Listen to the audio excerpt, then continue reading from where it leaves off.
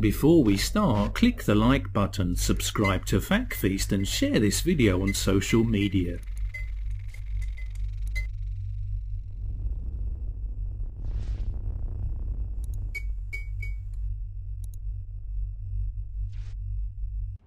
Vitellius Vitellius was Roman emperor for only eight months from 16th of April to 22nd of December 69 AD. Vitellius was proclaimed emperor following the quick succession of the previous emperors Galba and Otho, in a year of civil war known as the Year of the Four Emperors. At the end of 68 AD, Galba selected him to command the army of Germania Inferior. And here Vitellius made himself popular with his soldiers by outrageous extravagance and excessive good nature, which soon proved fatal to order and discipline. He owed his elevation to the throne to the commanders of the two legions on the Rhine, and his armies marched on Rome to confront Otho, who had replaced Galba.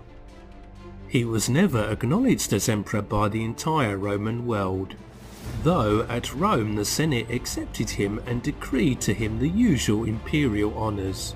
He advanced into Italy at the head of an immoral and rough soldiery, and Rome became the scene of riot and massacre gladiatorial shows and extravagant feasting.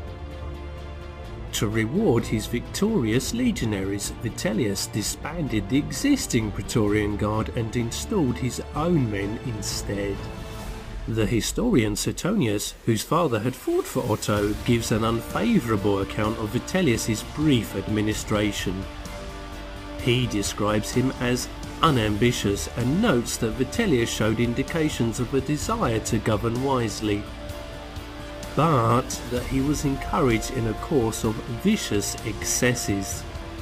Vitellius is described as lazy and self-indulgent, fond of eating and drinking, and an obese glutton with a huge belly eating banquets four times a day and feasting on rare foods he would send the Roman navy to obtain. For these banquets he had himself invited over to a different noble's house for each one. He is even reported to have starved his own mother to death to fulfill a prophecy that he would rule longer if his mother died first. In July 69 AD, Vitellius learned that his support was weakening and the armies of the eastern provinces had proclaimed a rival emperor, their commander Vespasian. Despite a willingness to abdicate his throne, he was thrown into the river Tiber.